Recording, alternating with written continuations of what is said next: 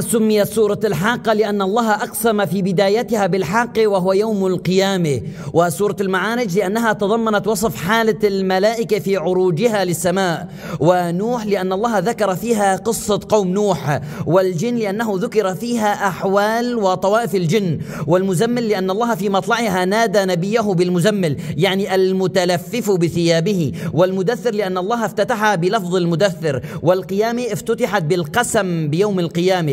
والإنسان لأن آياتها ابتدأت بذكر الإنسان وخلقه والمرسلات لاستهلالها بلفظ المرسلات في الآية الأولى والمرسلات يعني الرياح والنبأ لوقوع كلمة النبأ في أولها والنازعات لأن الله افتتحها بالقسم بالنازعات وهم الملائكة.